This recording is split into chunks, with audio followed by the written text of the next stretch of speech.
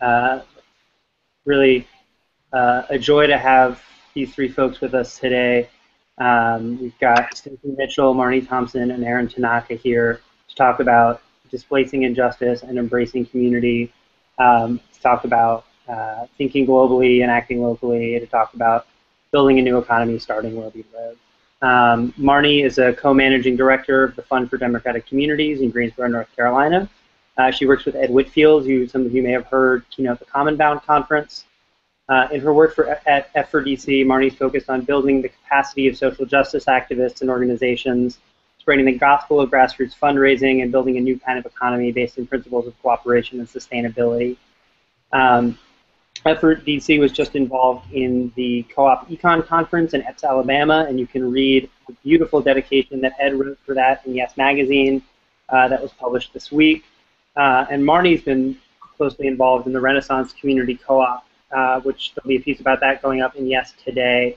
Um, a really amazing project. It's a community-owned grocery store in Greensboro, North Carolina that uh, I'm sure Marnie will want to tell you all about in a little bit. Um, we also have Stacy Mitchell with us. Uh, Stacy is a senior researcher and co-director at the Institute for Local Self-Reliance, uh, based up in she's based up in Portland, Maine. Uh, she runs their community scaled economy initiative, which produces research and analysis uh, and partners with a whole range of allies to design and implement policies that curb economic consolidation and strengthen community-rooted enterprises. Um, she's written extensively on the retail and banking sectors. Uh, she has a fantastic TED Talk out there that I encourage people to watch, uh, and is also the author of Big Box Swindle: The True Cost of Mega Retailers and the Fight for America's Independent Businesses, which was one of the first books uh, to really raise the alarm on, on uh, the issues of places like Walmart coming into cities and, and what that does to the local economy. Um, she's written for Business Week, Salon, The Nation, Grist, Sojourners, and many other publications, and uh, is doing some really incredible work right now, working with a whole network of folks, including organizations that she, local business organizations she's been with for a very long time, um, working to develop a localist policy agenda. Um, really, really exciting stuff. Um, and we've got a terrific moderator as well, in Aaron Tanaka, um, who's a Boston-based community organizer and impact investor, uh, founding executive director of the Boston Workers Alliance, where he's helped to organize no and low-income workers of color into one of Boston's leading grassroots economic justice organizations. Aaron also helped start the Boston Impact Initiative, an impact investment fund making value-driven loans and equity investments to grow the new economy since 2012. Uh, he's also led the formation of the Center for Economic Democracy, which is an emerging movement intermediary, uh, building grassroots capacity to lead transformative policy campaigns and new economy initiatives. Uh, I should also say that Aaron is on the board of the New Economy Coalition.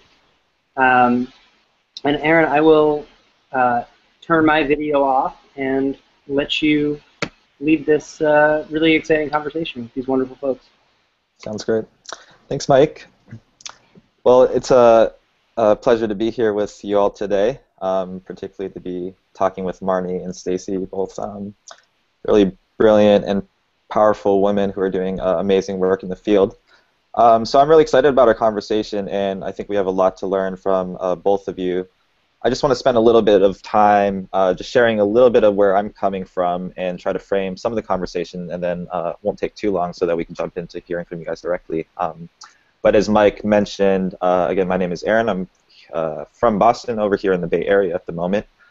Um, and a lot of the work that I've been doing recently is uh, really trying to think about how we can help uh, the grassroots organizing sector in Boston um, grow its power and analysis to really move um, to strengthen the the typical and the traditional organizing work that we've been doing, fighting for better standards and access, uh, but also to be really thinking about what the transformation of the economy could look like. And a lot of that has to do with uh, really looking at how we can build new institutions that model uh, and prefigure the democratic future and sustainable future that we want to live in, uh, and also thinking about policy strategies that um, allow us to move out of having to fight the same issues over and over and really change the rules of the game so that people can make decisions uh, instead of having to fight on, on a day-to-day basis as we are uh, all continue to do and need to continue to do. Uh, so a lot of our, our, work here in Boston is trying to demonstrate uh, what could be happening, situating local work uh, within a global context. And so from that standpoint, it's just really exciting uh, to be here with both of you. Um, so yes, as uh, I guess what where I wanted to start was just sort of framing out some some of the bigger picture questions and really situating situating it in a way that um, would allow you to both talk about some of the concrete ways that you're doing work uh, in your local communities. Um, but before we sort of move to that, I just want to kind of acknowledge the big picture uh, crisis that I think that we as a movement um, are acknowledging and dealing with. Um, you know, I was uh, very pleased to be in New York a few weeks ago at the P People's Climate Change March, and I think uh, that was a pivotal moment, hopefully, in the climate justice movement that is, um, uh, first of all, just rejecting the, the pseudoscience that's out there, the marginal folks who are denying climate change. I hope that we can really move past that at this point. But really, more importantly, it was a call from frontline communities, uh, the labor movement, uh, local economy leaders, uh, to really uh, put the issue of climate justice at the forefront of a broader economic justice agenda and connecting the issues of global capitalism and neoliberalism to the crises that we're seeing in economies and how it's playing out in our in our local neighborhoods and communities. Um, I also wanted to connect the issue of what's happening in Ferguson uh, over the last uh, couple months. Um, I, I, I don't remember where I read this, but I saw a small quote recently that said that um, you know before the police and the criminal justice system failed Mike Brown and Ferguson, that the old economy uh, failed that community uh, before, and to recognize that economic justice, criminalization, uh, issues of um, uh, deportation and immigration, environmental justice are all connected, and for us to see those things as connected through the economic system that we exist in. And so, for me, a lot of the uh, what I'm hoping for us to be able to talk about is to really highlight the work that is going on on the ground, both through the cooperative development and the policy work and the research that both of you are doing, uh, but also to help people understand how those uh, smaller models are helping to shift the logic of this dominant economic system. So we might not be talking about how we need to transform capitalism as a whole at this point, but I do think that the individual work that people are doing are changing relationships of people to governance, uh, democratizing workplaces, thinking about um, the democratization of finance and capital. And these are all um, pivot points along the spectrum of capitalism that are sort of redefining and re envisioning how we can relate to each other. Um, so that's sort of how I'm hoping we can approach it. And I know there's tons of great work that you are both doing that I'm sure everybody's really excited to hear about. So uh, with that, I would just wanted to first ask you all, since we're sort of talking about um, the global and the local, first to just have you, uh, maybe I'll start with you, Marnie, if that's all right, to share uh, where you're coming from and just generally sort of how you got to do the work that you're doing. And then sort of the next set is we'll, we'll talk more about the actual program and your organization specifically. But love to just hear about kind of how you got to where you are and your general approach to this work. Sure. So I was, I was born in Cleveland, Ohio, um, and uh, 59 years ago or thereabouts. But I have been living in North Carolina for the last um, 42 years and I'm the mother of a born and bred Southerner and a grandmother of a born and bred Southerner. So I think that sort of grandmothers me into being a Southerner. Uh, Southerners, uh, not not like unlike lots of people around the, the country, they're slow to embrace the newcomer. But I've been here a long time now, and I, I think of myself as a Southerner. And being a Southerner is a big part of why I'm doing what I'm doing. I'm building on the backs of lots of heroic Southerners, and I know that in some parts of the country, the South is understood to be a place of deficiency and, and deficit and poverty and stupid ideas. But I am mostly connected to wonderful people in the South, and I know how much the South has to offer, and I'm really eager to move the South because the South, in many ways, is the tail that wags the dog uh, of the United States in, in the political arena. And I just want my home to be a better place, too. So I live in Greensboro, North Carolina, which is a city of about 300,000 people. Um, it's a pretty diverse population. Um, we have a long and storied progressive history here, as well as a history of repression in Greensboro. And I, when I moved here in the early '80s, I got connected pretty quickly to that the progressive community here, and through that got connected to that history. Uh, civil rights activism around, well, the, the first sit ins were at the Woolworths lunch counter here in Greensboro in 1960. And uh, in, in the 19, by the end of the 60s, there was there were just years of rabble rousing in the streets that changed uh, all kinds of rules about what black folks could do in this city. Um, and by the late 70s, though, we were marked by that other big event here, which was the 1979 massacre, where uh, five people were killed in the streets by a Klan and Nazi, and nobody went to jail for that murder. And that, that marked a whole lot of my activism after I moved here in 1982. Um, again and again, uh, I, I met my colleague Ed Whitfield sometime in the 80s. We can't remember exactly when and where we met, but we were just constantly showing up at the same sorts of uh, economic justice, education justice, anti-racist sorts of events, and we became friends. And um, it's on this long-standing relationship of many, many years that we built much of the thinking that drives the Fund for Democratic Communities, which is where Ed and I are both located now. Um, there's a lot of poor folks in Greensboro, and a lot of folks in Greensboro don't want to talk, leaders in Greensboro don't want to talk about that, but we were recently given the not so great honor of being in the top 10 of cities in the United States with the fastest growing rates of poverty, uh, which has certainly caught the attention of the mayor here. Now they're having poverty summits, and I they're really horrible and stupid for the most part. I think they are. Gosh, I hope the mayor's not listening to me say that. favor from her shortly, but anyway, I mean, I think they're basically I don't know, sociologists reciting statistics about poverty, and that they're not thinking about changing the economy, and you can't end poverty without changing the economy. It's very frustrating. Um, we are also tied for second in the United States as the second most food insecure place in the United States. We're tied with Bakersfield, California. And what that means to be most food insecure is that, uh, in terms of percentage of people who answered the question, have you or someone you know gone to bed hungry in the last 30 days because you did not have food? And that we are tied for second in that honor. So that I'll be talking later about the, the grocery store project that we're working on, but you can see there's this tight connection between poverty and food that that is one of the angles that we're working here. Um, I think I've said enough and get the picture. There's lots of great people here, and it's and we're struggling too. So that's great. Thanks, Marnie. All right, so that's a great uh, sort of way of really situating this conversation in some real communities, um, and also to also as we go through this, to celebrate the work and the people on the ground that you're working with, um, the community members who are putting in time and energy to really transform their own communities. It's very exciting. Uh, great. So, Stacy, could I sort of ask you a similar question? Could you just tell us a little bit about uh, where you're from, how you identify uh, in that way, and sort of how that has impacted um, the amazing work that you're doing now?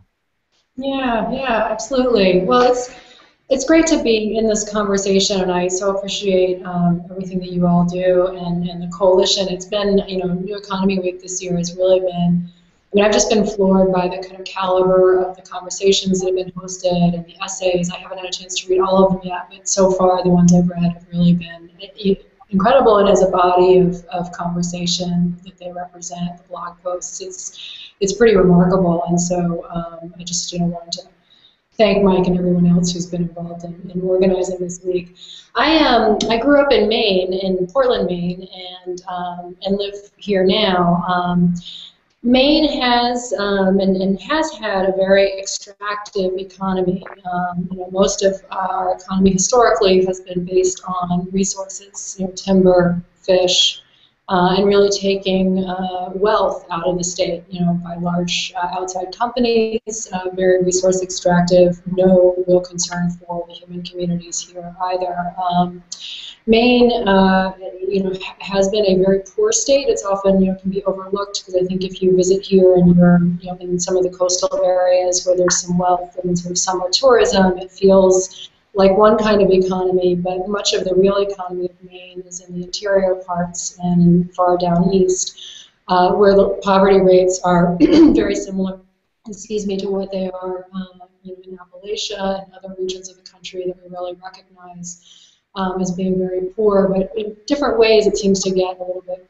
uh, overlooked um, here, here in our state growing up here, um, you know, I just there was a very strong, you know, feeling um, I think within our state and, and uh, that you know we were at the mercy of these outside forces, and that the best that we could do was sacrifice our natural resources, sacrifice our own lives for um, jobs, uh, you know, that were that barely paid a living wage anyway. Um, and that was sort of the story of what the economy was about, and we were always dependent on somebody from away, some company that was maybe going to come in and do us a little bit of a favor, if you can call it a favor, um, and that all of this was really beyond our control. So that's really, I mean, that was kind of my how I understood it, the economy, you know, growing up. Um, and I graduated from high school in 1991, um, which was in the middle of that recession, the George Bush recession, which hit Maine really hard, and mainly because it really brought home how dependent we were on these outside forces that things could happen away from us in the national economy and we would just be just be screwed by that and um, it was very very high unemployment and a lot of vacancies in our downtown here in Portland and just pretty bad um, I left and went to college in Minnesota, um, and I studied um, labor and environmental history, um, U.S. history, um, mainly because I had this sort of what I wanted to know was how does change happen? You know, how do things change? How do people change things? And it, I've always kind of throughout my work kind of relied on what I learned about the labor movement and the history for civil rights and the early environmental movement because things can and often do change quite dramatically in the short space of time based on what people do. And so I find that that's always a touchstone for me um, in, in um, you know, looking forward at, at, the work now. I, um, I was very lucky, not, not too long after college, to um, find a job at the Institute for Local Self-Reliance, which I had never heard of, um, but I, you know, remember seeing the job opening and kind of looking on their website and being like, wow, this is really what I believe. This is an organization that is about how do communities build power, you know, economic power and political power. How do we think about building uh, an economy that's truly sustainable from every meaning of that word? Um, so I've been at the Institute now for about 16 years, and um, uh, in that time moved back to Maine and helped us open an office here. Um, so we're in Minneapolis, Maine, and Washington D.C. So that's that's my story.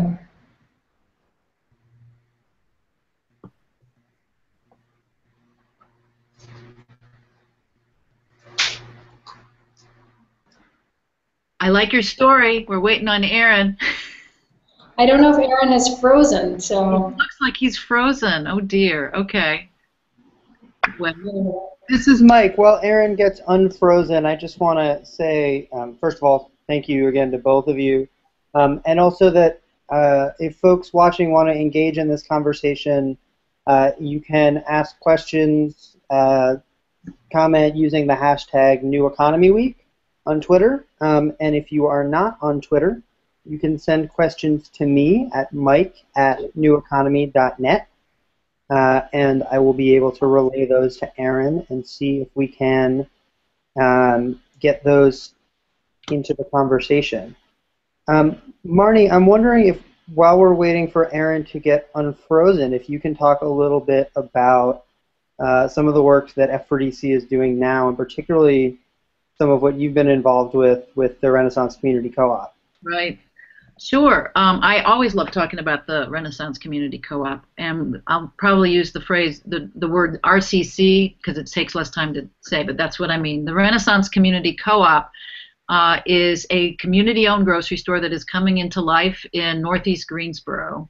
Um, this is a part of Greensboro that's, um, I don't know, 90% African American, generally low income.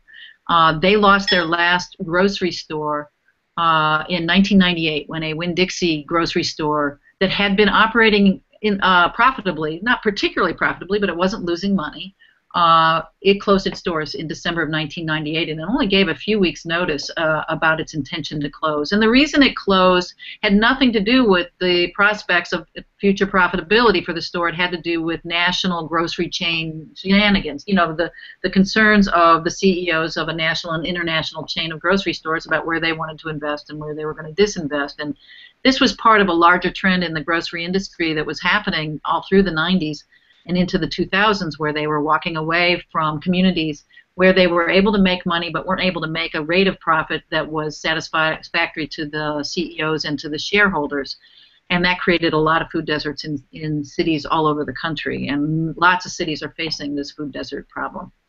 So uh, over the years, this community of folks, uh, actually, the very first day that the word came that the Winn-Dixie was going to close, people got themselves organized and they were picketing the grocery store to try to get them to stay. And I've always wondered whether that was the greatest tactic in the world. I've never known a picket to get somebody to stay actually work, but it was the first thing they came up with. And um, it, out of that picket line arose the formation of a community group called uh, Concerned Citizens of Northeast Greensboro. And I think it's important to tell this story of the grocery store as going back all the way to that picket line um, because because it's about people organizing themselves and understanding that they as individuals don't have that much power, but collectively we have more power. I got invited into a meeting of concerned citizens of Northeast Greensboro sometime in January of 1999, just a month later. The grocery store was closed by then, and the community started meeting, and there were more than 100 people in a church that night trying to figure out what are we going to do about this grocery store situation. Um, and as you can see, it's now 2014, and there is not yet a grocery store there, but there is one that is well on its way. And so the, the first approaches that that group took didn't work. And the main, the main tenor of those approaches was to try to convince a chain retailer to come in and occupy the space that the Winn-Dixie had occupied. That didn't work for the same reason that the Winn-Dixie left. The rate of profit wasn't going to be sufficient to attract a chain retailer. And again and again, they would almost have a, they would be courting a grocer, and the deal would fall through at the very end because basically the rate of return was insufficient. Meanwhile, everybody in Northeast Greensboro continued to eat. And I, I this is one of the myths that um, exists in this country about the food desert problem, which is that um, oh well there there isn't enough money in these neighborhoods. One of the things you can count on even in the poorest neighborhoods is that people will continue to eat. If they don't they die. It's really simple. Uh, so there is plenty of cash flowing through that neighborhood. If I, I'm not as smart as Ed at remembering numbers, but he has this great routine where he will recite to you the, the exact dollar value of the amount of money that's spent every week in the two mile radius of that grocery store, and all I can tell you is it's it's more than 1.34 million dollars a week is being spent on food, and has at, at, this time. That's a lot of money, and the community could probably do something with that money if it wasn't being extracted from the neighborhood. And that's sort of the theory behind the RCC. So in 2012, no grocery store had shown up, and uh, Ed and I had maintained connection with that community group, and we approached that group and said, what do you think about a community-owned grocery store as a solution? And our motives in doing that were they we wanted the community to have a grocery store, but we were also seeking uh, a way to demonstrate the power of cooperative ownership and its potential to solve a lot of economic problems. And we were initially told, don't worry about it. That's a nice idea, but don't worry about it because Save a Lot is coming. And again, by the late 2012, actually that was in late 2011, and by the end of that year, Save a Lot had pulled out. So in early 2012, the community leaders said, yeah, we should talk about this. So by the summer of 2012, we had organized a couple of uh, 15 passenger vans to drive 30 people from the community, uh, one town over, to have a look at a store called Company Shops Market, which was a relatively new uh, downtown community-owned grocery store in Burlington, North Carolina. And like many food co-ops, it's if you walk in the doors at company shops, it's a beautiful newer facility that's focused on natural and organic and local foods. And the price point isn't quite right, and the foods that are being sold there aren't quite what the folks in Northeast Greensboro were looking for. But it really intrigued them when they saw this beautiful 10,000 square foot grocery store and met uh, the chairman of the board and met the, the store's manager and got a chance to talk to them for hours to ask every question they had. They came home from that trip and within a month or two they had voted. Well, I guess it was a couple of months because it was this coming Monday will be the second year anniversary of the official formation of the Renaissance Community Co-op Committee. Um, it took them a while to decide they were going to get educated and start raising the money and start this project. So that's the origin story for the Renaissance Community Co-op. Um, what's exciting about it is that co-ops are supposed to meet real community needs. Whoever owns the co-op, it's their needs we're trying to meet. This community is owning this grocery store. I think we're at like 298 members. It's and, and this co-op is in many ways just like so many other food co-ops you may be familiar with and in other ways it is very different from other food co-ops for one thing it is not about organic and natural foods it is about the kind of foods that you would find in a conventional grocery store like a kroger and this has actually ruffled some feathers in the food co-op uh, community because there's such a complete identification in some people's minds between food co-op and organic and natural. And we get pushback from folks outside of Northeast Greensboro. We say, but don't poor people deserve healthy food too? Let me say a couple things about that. Of course, everybody deserves healthy food, of course, except the price point on organic and natural, no matter where you're shopping for it, is way out of the ballpark for the community, this community. And the other thing I want to say is that right now, people are paying money to take taxis several miles to go to a grocery store, and that's cutting into their food buying dollar. Or they're walking across the street to one of two pretty rundown convenience stores where their their buying choices include sodas, chips, beer, and wine, and cigarettes for the most part. So the range of food that's conventionally grown and packaged that is so much healthier than what is currently available. I mean, the, the, health benefits of just having a regular grocery store in this community can't be can't be underestimated. There, there were there are going to be some organic and natural pro- products on the shelves in this grocery store because this community says it wants some, but it doesn't want it to make up the bulk of what's on the shelves. And this is an important idea that the owners, the community owners of the grocery store, are deciding what's going to be sold in the grocery store, not a larger food co-op movement that's focused on organic and natural. Um, what's exciting? I mean, as we were preparing for this panel, I, I think Mike sent an email around saying, "Hey, couldn't you send something you've written re- recently?" I don't get to write in English very much anymore, except I write business plans and I do spend a lot of time looking in Excel spreadsheets with members of the community and other advisors on this project because we're getting the lesson of our lives in how to build an enterprise that will be economically viable and, and owned by the community. And that means taking very seriously a lot of financial stuff and understanding cash flow balance sheets and, and all that stuff. That $1.34 million a week that gets spent on groceries, we have to capture 5% of that in order for our, our store to succeed. And if we do succeed, what it means for the community is really exciting. It means 31 jobs, 17 of which will be full time, and all full time positions will have access to benefits within a few months of starting work. Um, that is completely unheard of here in North Carolina in the grocery industry. The starting wage for the lowest paid worker will be $10 an hour. That is 33% more than the prevailing grocery wage here in Greensboro, North Carolina. Um, it's going to have 10,000 square feet of wonderful selections of food. It has to be professionally managed and run because not everybody has drunk the the co-op Kool-Aid, and so any customer coming in who has no particular affiliation with the sense of community ownership has to have a great experience in that grocery store, one that fulfills their sense of what a proper grocery store should have on its shelves and how the customers are treated and all that kind of stuff. So we need to the the, the co-op board will be hiring a a gro- an experienced grocery store manager to who will be thinking about everything from how many SKUs can we put on the shelves to how am I going to schedule the labor so that I'm not that I'm optimizing everybody's time to get the most uh, to, to, meet everybody's needs in, as they come through the doors of the store. And there's a lot of technical stuff about running a grocery store, by the way, that I didn't know before we started this project, and I still don't know plenty of it. We rely wholeheartedly on a group called Uplift Solutions.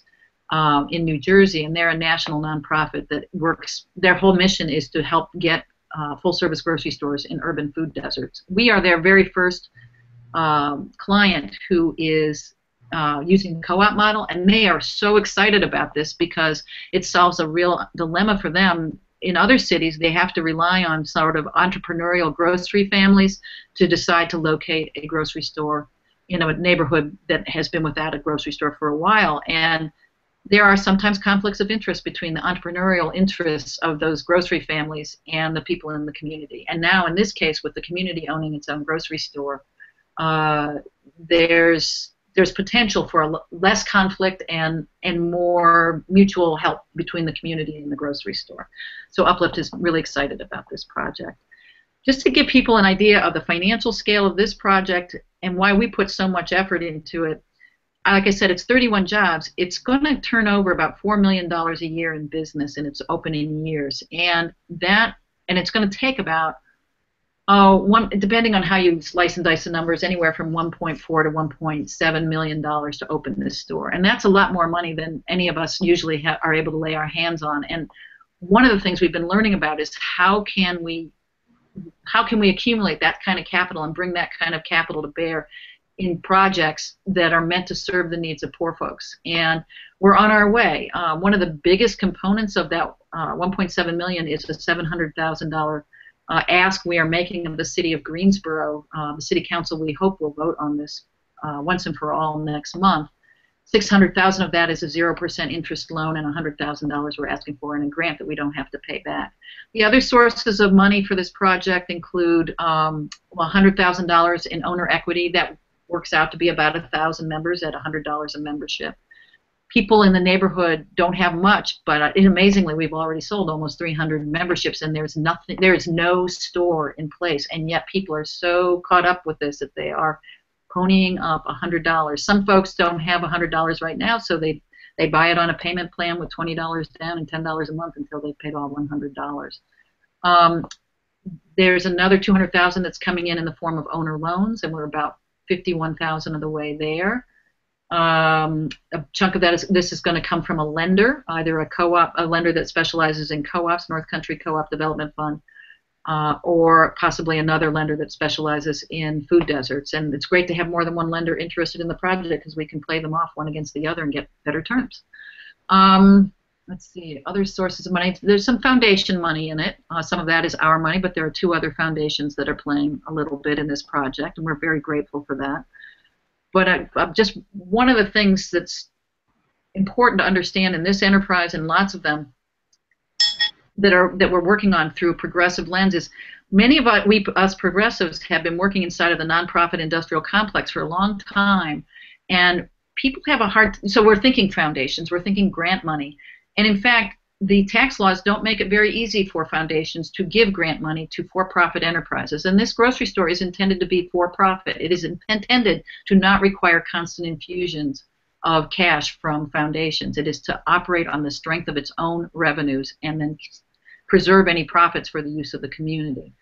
So it's not easy to move foundation money over to this uh, uh, kind of an enterprise. So we have to be more creative and it also makes sense to kind of start to detach from the nonprofit industrial complex because as useful as it can be for some things, it's very, very limiting, and it's just a tiny corner of the big economy that's punishing us so much. So we need, it's my contention that we need to get real entrepreneurial, and we need to start to build the new economy with serious projects that employ fair numbers of people. And I, I, I love the mom and pop co-ops that I see growing up and other kinds of community-based businesses that are putting food on the table and shelters over people's heads. I don't want to. Small business is great, but I think the very small business isn't going to be enough to get us into the new economy. We're going to have to start building enterprises that by 30, 50, 100 people at a clip in order to make a big impact in people's lives. Um, I think I've been talking a long time. I could say more about the Southern Grassroots Economies Project now, but I think I'd rather just start hearing some more from Stacy about what she's doing, and I'll find a way to talk about SGEP later. Great. That was terrific, Marnie. Um, well, I'll just, uh, Mike, unless you had anything to add at this point, I was just going to jump in. Um, yeah, that's. I was. I was going to segue, but go right ahead. Okay, I didn't know. We apparently have lost Aaron because we, of... I've got Aaron on the phone. We were going to try to maybe speakerphone it. Aaron, are you there? Wait, let's try that. Aaron, are you there? Yep. Can you all hear him? I hear him. All right, we'll do it like this. Uh, I, I'm not sure if I'm going to be able to hear. Okay, maybe not then. Well, Stacy was just about to jump in anyway. Let's just have her do that.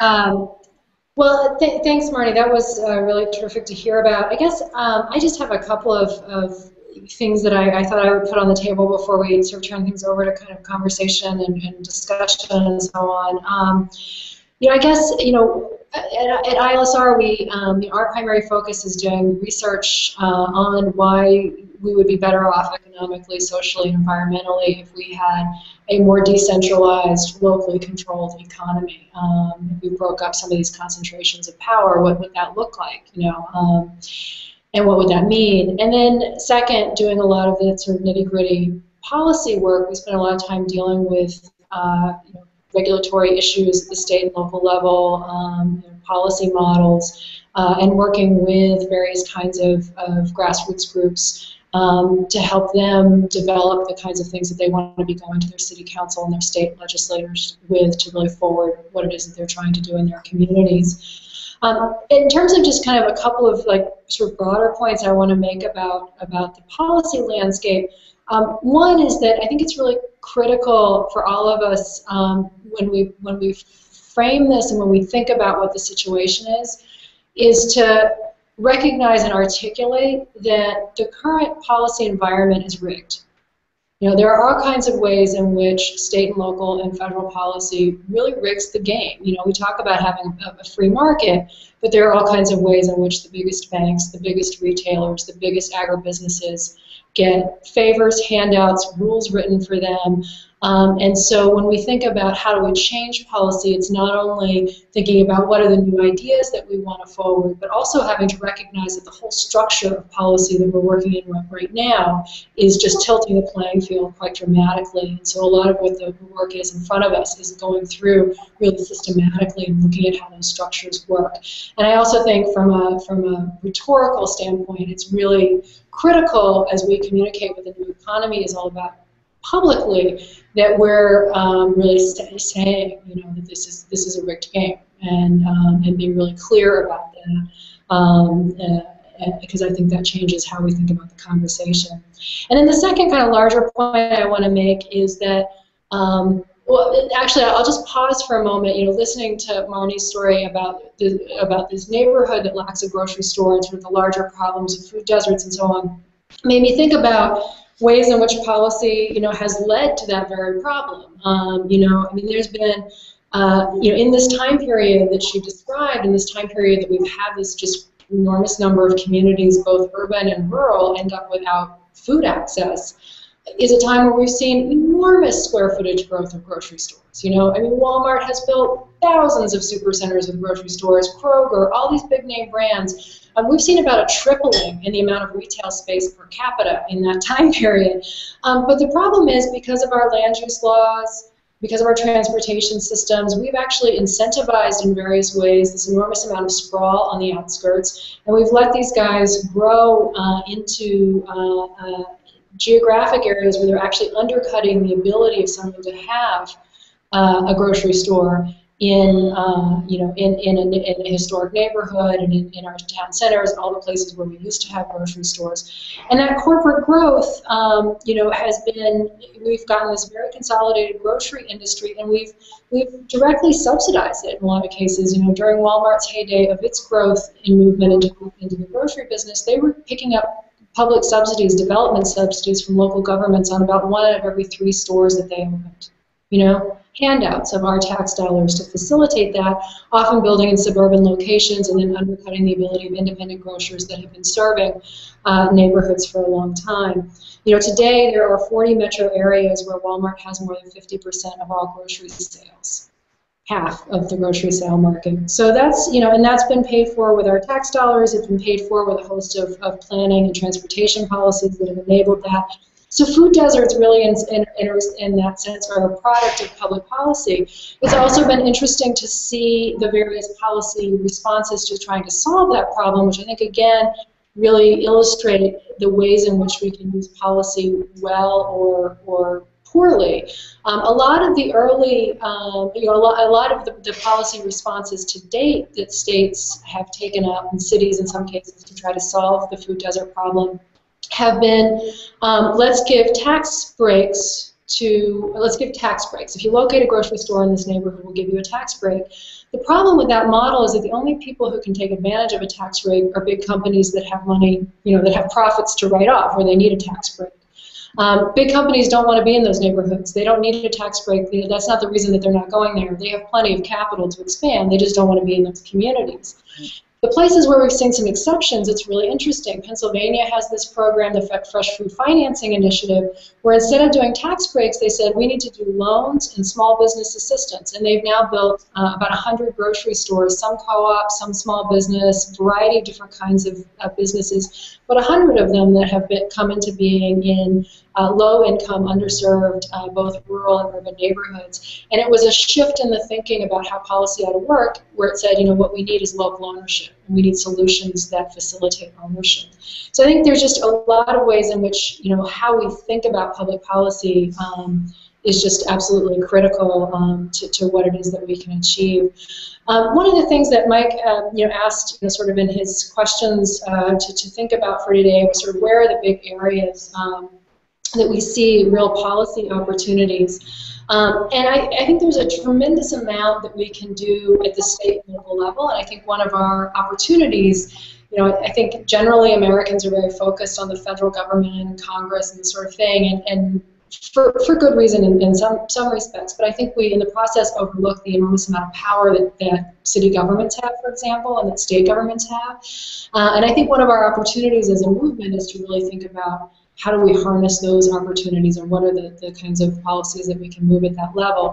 So, you know, when we look out onto the landscape, some of the things that we think are really interesting opportunities right now, um, one is, uh, and I'll, I'll give you, I think, three or maybe four. I don't want to run out of time here, but um, uh, one is the the opportunity to use um, uh, all of the all of the government spending footprint. So government purchasing, um, uh, government infrastructure, all the ways that local and state governments spend money and the kinds of things that they spend money on. I think there are tremendous opportunities there to think about um, how do we inject a set of values um, and goals within those spending choices so that we're redirecting those funds in ways that support um, the kinds of economic models that we want to see and that make public purchasing and public infrastructure investments a tool for modeling the kinds of high road, uh, environmentally sustainable economic models that we want to see throughout the economy, and really a big tool for, for beginning to accelerate those kinds of shifts uh, in, in how the economy operates. I also think that there's some significant opportunities um, for you know, very particular areas. Uh, so, for example, we have a, a community broadband initiative. Um, we're doing a lot of work with cities um, who are uh, building their own uh, fiber infrastructure and creating their own um, ways to offer internet, cable, television, uh, and phone service to, to their um, citizens at much lower cost than people pay in cities where the only choice is Time Warner or Comcast. And those networks have been incredibly uh, effective and are growing in the places, uh, growing in a lot of different cities.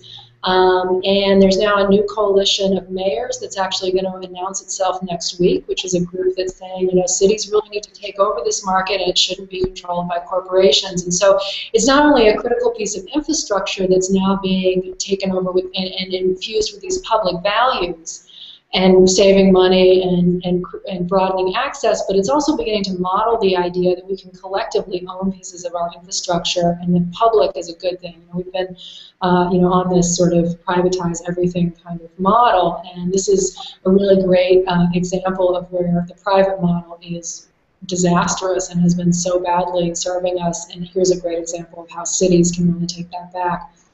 Um, the other area, one of the other areas that we really see big opportunities right now are in the energy sector. Um, as many people probably know, um, the financial, uh, uh, uh, you know, sort of the bottom line with the cost of putting rooftop solar panels on your on your house um, has changed dramatically even in just the last few years. And so there are a growing number of states now that are reaching what's called grid parity, meaning that you can put solar on your house um, or join in a cooperative neighborhood solar uh, array that is collectively owned, uh, and, and uh, you know, and, and, and, and finance that for less than what it will cost for you to buy your power from the local utility. Mm. So the dynamics are really shifting. There's some states where that's already true, and we're predicting in the next few years there's going to be a lot more states where that's true. How the rules are written and what the uh, financing mechanisms that are put in place, because there's obviously an upfront cost to installing solar, um, are going to make a lot of difference in the next few years as to how much uh, community and local ownership of the energy generating infrastructure we can create in this country. States that are out ahead right set of rules, cities that are out ahead with the right set of rules, um, really have an enormous opportunity to revolutionize how power is produced, not only in a way that makes it more environmentally sustainable, but in a way that enables all of us to own a piece of that power generation uh, and just change the economic dynamics of a whole industry. So that's a huge area where we're doing a lot of work both at the city level uh, and at the state level. And then the last one I'll just mention is I think that there's um, there are huge opportunities to be, look at land use and economic development policy. I think we just generally tend to overlook um, planning and zoning. um, it sort of seems like this arcane thing and it's a bit dry and all this sort of thing, but it is an area in which when you really look at it, um, your local government has an extraordinary amount of power over what companies can do in your community. Um, and our land use policies have a lot to do with you know, what the, the kinds of policies we've had in place with you know, which neighborhoods get bypassed, you know, where communities kind of locked out of opportunities, has a lot to do with things like our carbon footprint, since driving is such a huge amount of our greenhouse gases. Um, and, and it also has a lot to do with the kinds of businesses that can take root. You know, cities that, that use their land use policy to create the right kind of um, habitat for local entrepreneurs uh, for small scale cooperative kinds of businesses.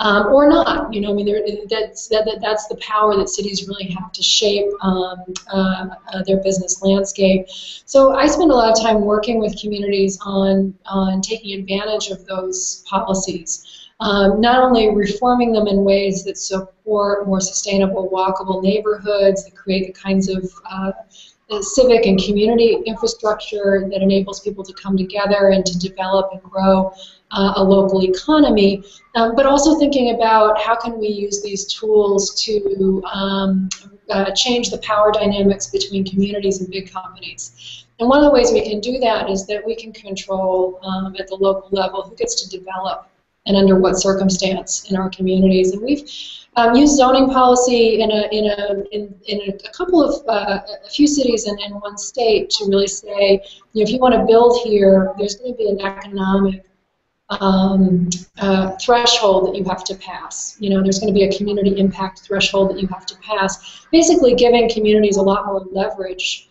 um, with regard to developers and with regard to incoming companies to say, you know, what you're offering isn't good enough, and we're just going to say no. You can't just develop here unless you come back with something that really uh, meets these kinds of economic, environmental, and community standards. So I see a lot of opportunity to really continue to develop policies that, that use this huge power that cities have in terms of planning and zoning, and I think that's a big opportunity going forward.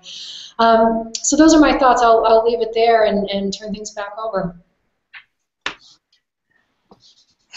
Mike, is that Mike or, or, or Aaron? It's Mike. Aaron, uh, his internet connection conked out because we're doing a Google Hangout on air. He can't rejoin the call while we're broadcasting. Um, I'm trying to figure out a workaround if I can like screen share a Skype call or if you can just feed me questions or something like that. Um, in the meantime, though, I'm, I, I heard a lot of uh, overlap in what the two of you were saying, and I heard a lot of things that seemed like they were sort of cross-applicable. So I'm wondering, um, Marnie, if there's anything you want to respond to, or if there's things that Stacy said about the, the policy landscape that are resonant with your experience in Greensboro. Yeah, no, Stacy, I would love to. After we finish this, we should just exchange contact information because I think there's some guidance you could maybe give us about our current ask to the city and how to manage some of that.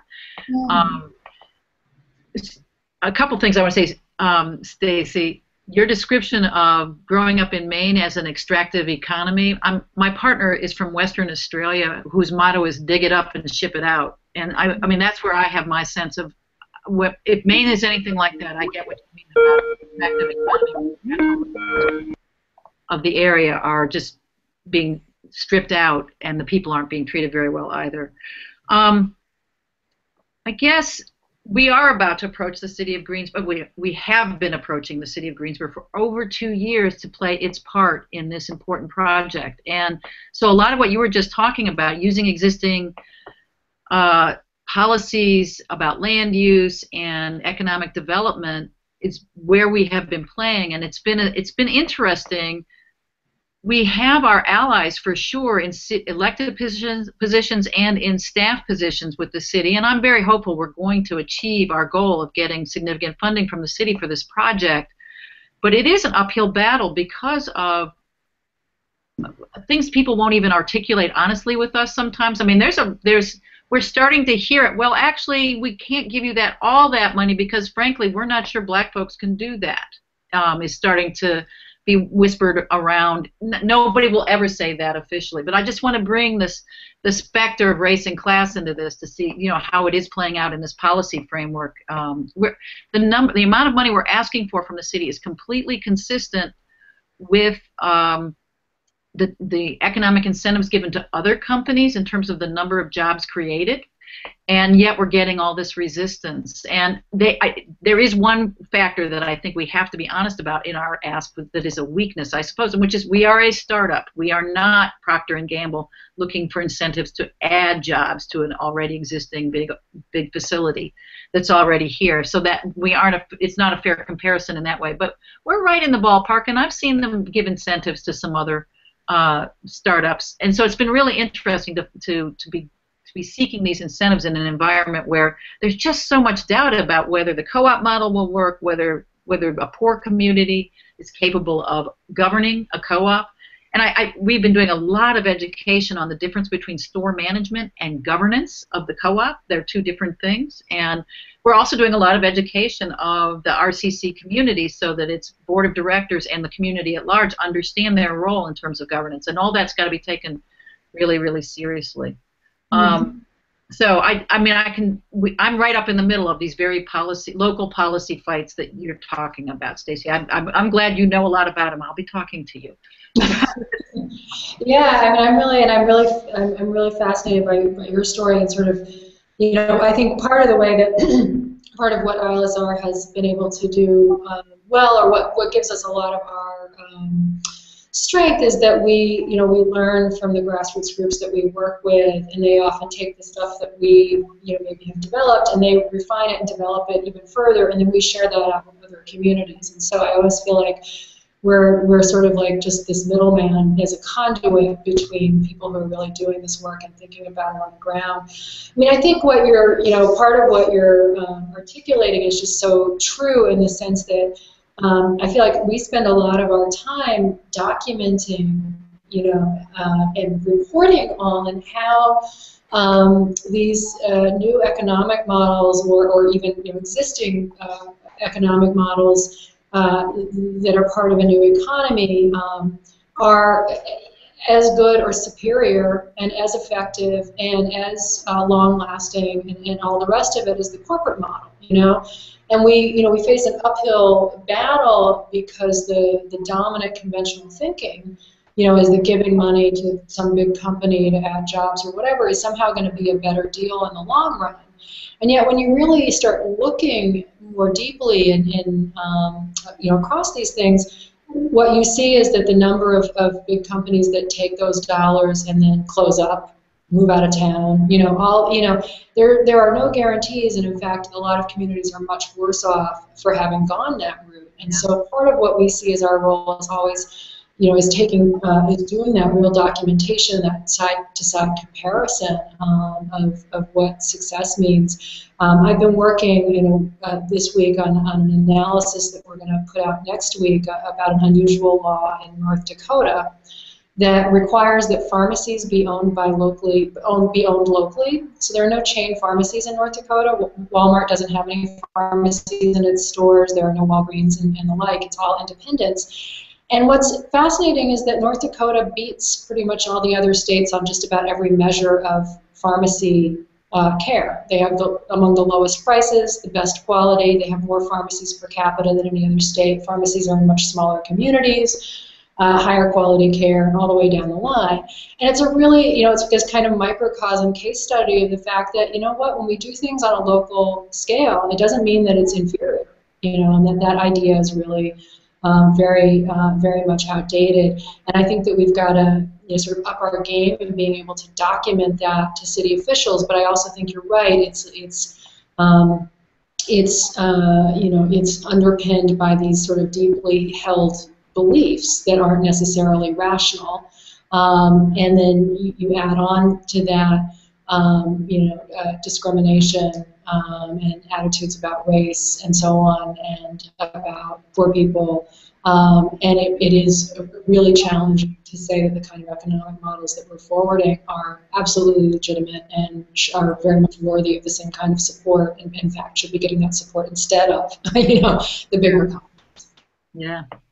Um, I also saw um, some threads on the issue of scaling the new economy and what you were talking about. And I've been I was asked about this earlier in the week in a different context, and I just wanted to give a little bit of a little more history on the RCC project and then talk about how that project relates to our notions about scaling. And I, I want to say right away that scaling is daunting, and I, I do not think that we at F4DC have finished our thinking about this, and that our NEC world has not finished its thinking about scaling, and we have to take scaling really seriously. But here's some beginning thoughts that we're having about it. Um, I think that scaling won't happen unless things are really, really organically rooted and so you can't skip that organically rooting it in a place part if you're going to ever get to scale.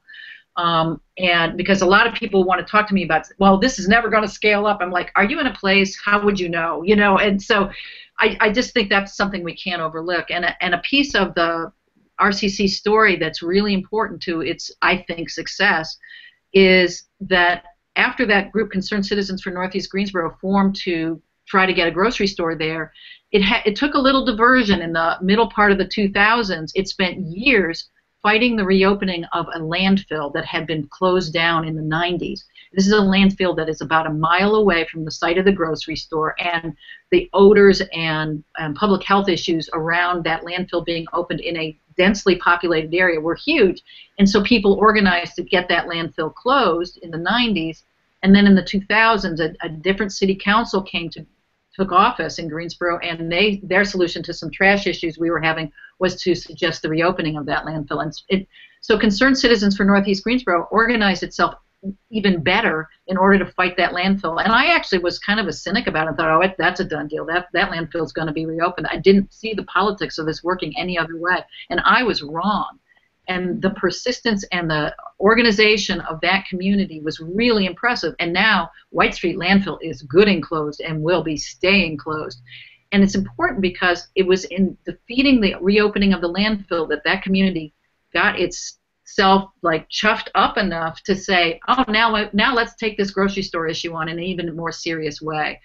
And I, I just want to say that that sort of history of political struggle, it isn't always about building the new economy it isn't always um, it's it's often about resisting something from the old economy is how you learn that you have community and that you can do things together better than you can do on your own and that speaks to this idea an idea we use a lot at F4DC, which is we abbreviate it as RAD R-A-D it stands for R for resistance A for advocacy and D for do for ourselves and in the progressive movement we have been become pretty skilled at resistance. And there's all these classic resistance tactics, and there's newer resistance tactics that are coming on right now.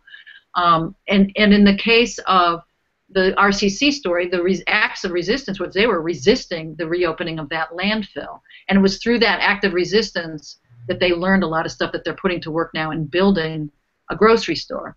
And right now we are in an advocacy stage of the grocery store project where we are advocating to get our $700,000 in, in city investment to add to the pool of other financing for the grocery store.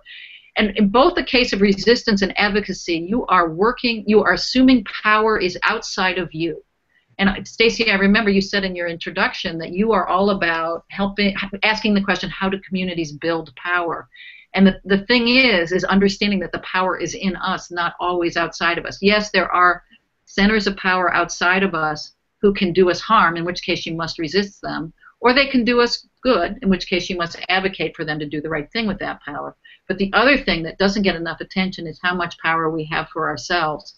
And when we understand ourselves working together to be the power, we can do for ourselves amazing things. And that's so the grocery store coming into being is is will be an uh, an example of doing for ourselves writ large. Um, and so this whole project of the grocery store is all, all along this continuum of re- resist, advocate, and do for ourselves.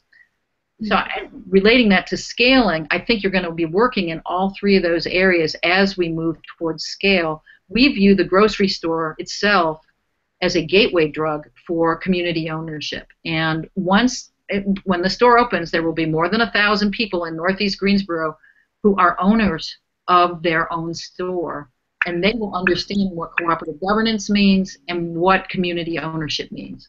And once they have a taste for that, that's when we can come in and start talking about the next kind of community ownership project, which is maybe it's going to be a worker owned co op that is based around meeting the procurement needs of the city of Greensboro or one of the hospitals or universities in Greensboro. I don't know. But we, we, we think people need existence proofs before they can go big. And um, before we can talk scale, we just need to have a, a, sort of a network of existence proofs proving that people can't, that the community can own stuff and properly take care of stuff. And so there are more and more of those existence proofs around the country. I'm just pretty well focused on getting existence proofs here in the south of the U.S. right now. Um, so that's what I wanted to say about scale. That it starts with existence proofs, and that those need to be networked together, and then from that we can we can now talk about scale. I guess the last thing I want to say about scale is capital. We need capital to go to scale, and it's I, I, if Aaron were on this call right now, I think I'd be picking his brains about what he's thinking about capital because I know he spends a lot of time thinking about it. Um, so, I, the Southern Grassroots Economies Project is trying to grapple with the need for capital in the South for building a new economy, and we're just starting to put together ideas for revolving loan fund. Aaron's here. Um, I'll shut up now.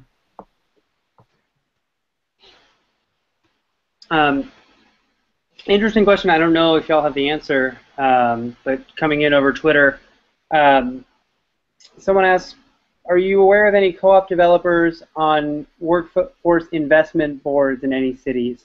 I guess what, or taking that question broader, um, where does this work intersect with electoral work? Um, where are we seeing anywhere, um, you know, getting uh, getting kinds of local bodies? And we have Aaron back somehow. Renee, our tech guy, has worked a miracle. Um, but let's let's take that question off Twitter, and then uh, Aaron, you can uh, take us home for the last 15 minutes of this. Stacy, I bet you know more about that than I do. My answer is no, I don't. Yeah, I, I think um, you know there's sort of two parts with that question. You know, I think that we do need to do a kind of systematic look at um, the economic development resources that are out there uh, and entities that are out there and the ways in, in which those uh, funds and that, that, that kind of technical support can be redirected. Um, you know, it's interesting to think about workforce development. I, I hadn't before, but to think about workforce development uh, entities um, having a, a, cooperative focus, um, or at least a, a, plank of what they're doing um, could be around uh, helping people develop co-ops or helping businesses transition to cooperative ownership. Um, I've also, uh, one of the things that I've been thinking about, I do a lot of work with small businesses, um, and I uh, spend a lot of time looking at you know, different kinds of things like the Small Business Administration, uh, which does has a, a, loan guarantee program to help uh, to help finance small businesses that are just outside of being able to get a conventional bank loan. And the loans are made by banks, but then they're they're guaranteed uh, by the federal government.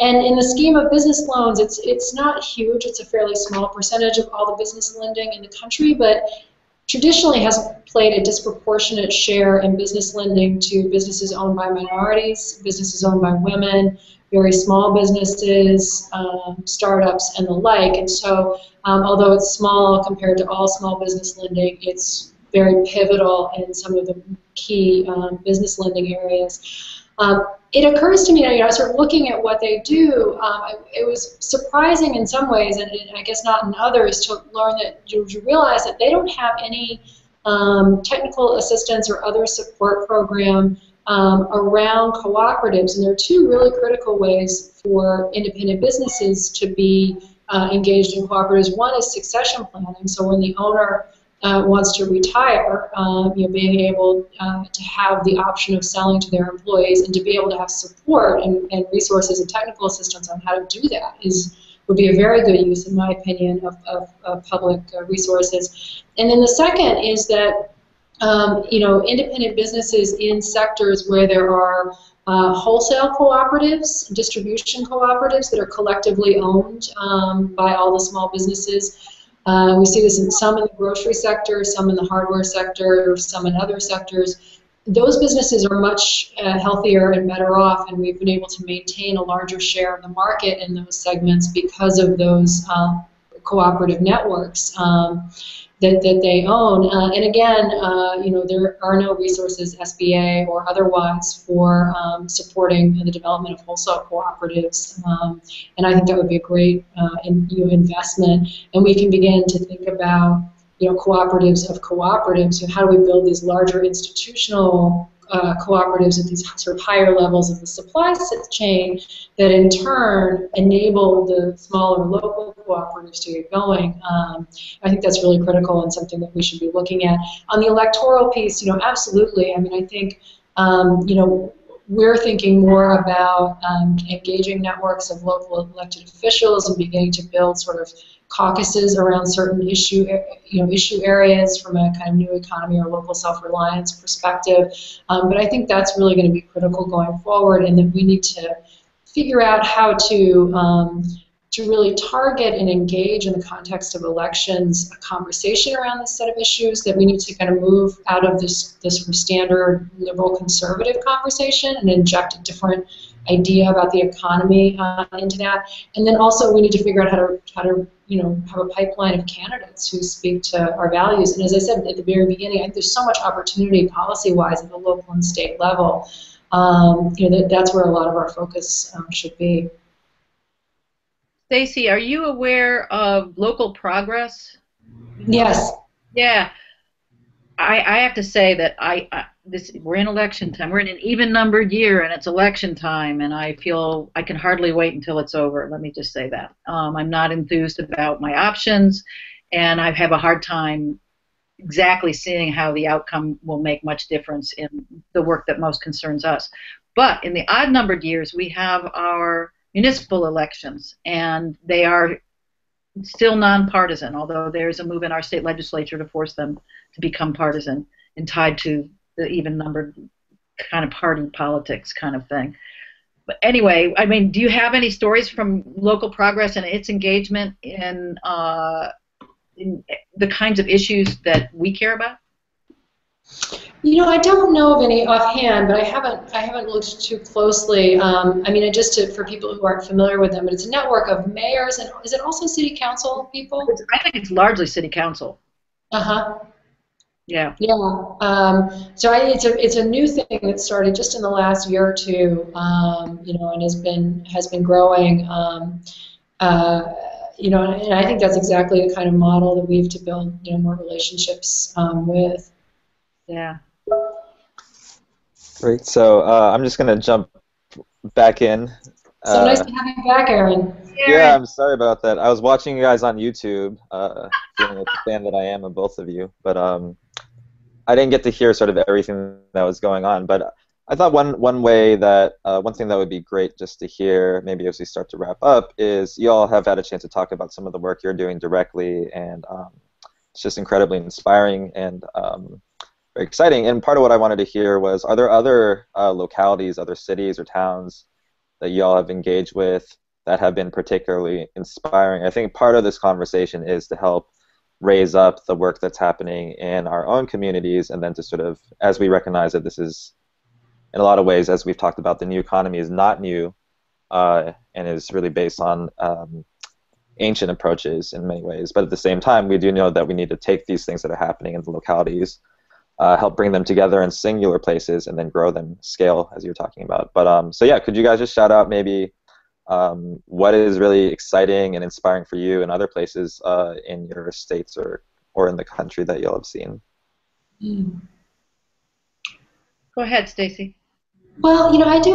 Um, I, I, uh, as I mentioned, do a lot of work with independent businesses, and I've been really excited by the growth of the Independent Business Alliance movement, which now ha- is about 150 cities and about 50,000 uh, local business owners that are members of those organizations. And there's some places where, you know, sometimes surprising places where they're really changing the conversation. And Arizona is one that comes to mind, Phoenix of all places. Um, there's a local business alliance there, Arizona Local First that is actually you're managing to change uh, land use policy and to make the city much more focused on uh, adaptive reuse of historic buildings, on things like walkability. I mean, stuff that is pretty far out for a city like Phoenix. Um, and a lot of that's come because because there's this sort of local business community that's that's changing the way that that conversation is happening at that city government level. And they've done some very interesting things. They've outlawed um, development subsidies for big retailers at the state level. That's a policy that, that's come out of, of them. Um, and I think sort of illustrating, I think one of the, the reasons I, I, thought of Arizona, you know, uh, as something to mention is that um, really illustrating that if we, uh, you know, that, that, that there's an opportunity here to change the political dynamics because I think that there's a, I think there's a huge constituency out there that understands that our economy is broken, and that if we can articulate a different way forward, um, we can do that in regions of the country that are not you know typically progressive, um, and that, that that's you know really part of the the exciting strategy here.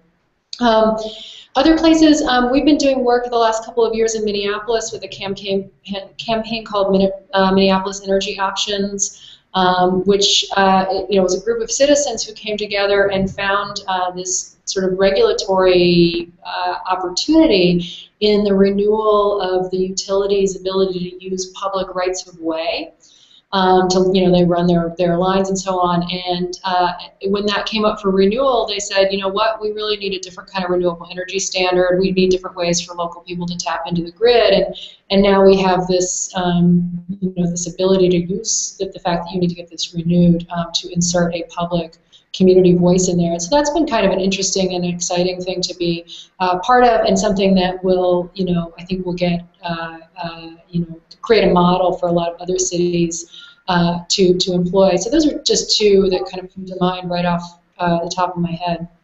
That's great. Thanks for sharing that. Uh, how about you, Marnie? I'm pretty recently back from CoAPICon 2014, which is the annual training institute that happens uh, sponsored by the Southern Grassroots Economies Project in Epes, Alabama. And I, I mean, I just came home high as a kite, and I'm still high, even though it's two or three weeks back now. So just a few things. At this thing, the Florida Dream Defenders got together with the Florida Farm Workers Association. Do I know what they're going to get up to? No, but they got together.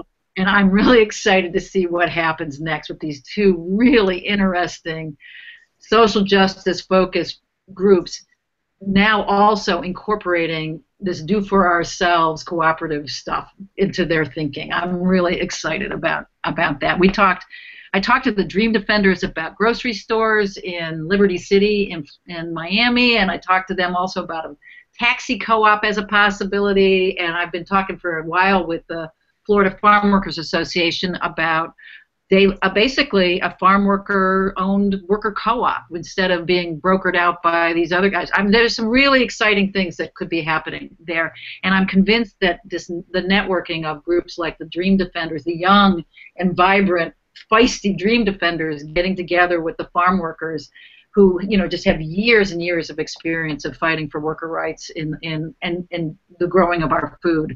That's very cool to me. Um, other groups and places. I mean, we spend a lot of time thinking with the folks and in cooperation Jackson uh, in Jackson, Mississippi, and you know they're they're in a difficult time to be sure since the death of Chokwe Lumumba, the um, who was part of the Malcolm X grassroots movement mm-hmm. and got elected to be mayor of the city of Jackson. And when uh, Chokwe died in February, quite unexpectedly, uh, and was replaced by a, a different kind of mayor, I'll just say. Um, many of the opportunities that we were working on are not going to be immediately possible anymore. But it's really impressive to see the way the dream of community ownership uh, and a new economy for Jackson that is just and sustainable and democratic is not been let go, and those guys are still working really hard on a couple different ideas uh, in Jackson. Um, our partners in the Southern Grassroots Economies Project, other partners we work closely with are, of course, the Federation of Southern Co-ops and I mean, we just feel so honored to be part of their long history of bringing civil rights together with the co-op movement. That's they're always up to great stuff. And bizarrely, one of the places they're working right now is Cleveland, Ohio, my birthplace. And I don't know what the Federation of Southern Co-ops is doing up in Ohio is interesting. They're teaching urban people how to build hoop houses, and they know a lot about hoop houses. Um, so that's exciting to me that there's that cross fertilization going on. So those are just some of the things that got me excited. Oh, I talked to a group out of uh, a little bit east of us in North Carolina uh, who are starting a, a nursery co-op, growing. I don't by which I don't mean babies, I mean small trees. Um, and I, it's just great. I, I like sitting down with folks and saying, oh, let's do a preliminary uh, pro forma and see whether the numbers make any sense at all. And people are just so ready for this stuff. And I'm just so pleased to see people occupying the economy. You know, they're not, people are not ceding economic stuff over just to big business anymore. They're saying, I want that for me and my community. Amazing. All right, great. Well, um, uh, I'm thoroughly inspired and really appreciate the work that both of you are doing and for you to be sharing this with uh, the whole country and the, the amazing network at the New Economy Coalition that we have has just been fantastic. Um, I just thought I would leave us, uh, we're going to wrap up now. Uh, we've had our hour and 15, although I haven't gotten to enjoy the whole thing of it. Um, but one of my mentors, um, Canon Ed Rodman, just uh, you were talking about Greensboro, and he was one of the high school students who were in that first uh, lunch counter sit-in, and he he has worked with people like Dr. King and Malcolm X throughout the years, and has been an incredible mentor to me. One of the biggest quotes that he shared uh, with me has always been this very basic idea. He says that we need to have uh, movement-centered leaders, not leader-centered movements. Mm-hmm. And when you're talking about the uh, the the work that's happening just in the Dream Defenders and all over the country, really, what what I think is really exciting about this particular moment in time is that it seems like we have a multitude of strategies and um, organizing work and finance and business, sort of across the spectrum that um, New Economy Coalition and other groups like BALLE and folks that I've been working with are, are really helping to sort of coalesce into a broader movement. But what's really exciting is that it seems like people are doing and experimenting with this work on the ground in their own communities uh, in their own particular way. And I think that in a lot of ways, uh, for us to be thinking about the building of a movement that's much broader um, that isn't sort of based around individual charismatic leadership, but is about people taking their own uh, communities and, and taking control of, over what's happening in their economies is, is how this work is going to move forward. So uh, I just thank uh, both of you uh, for helping highlight and illuminate some of this incredible work. And also just want to shout out uh, folks at the New Economy Coalition for um, hosting New Economy Week and bringing uh, this conversation forward. I think with that, New Economy Coalition. Uh, we're going to wrap up. Yeah, thank you. It's been great. All right. Thank you all Thank you so all. much. And there's there's still a little bit of New Economy Week left over the weekend. Uh, there's a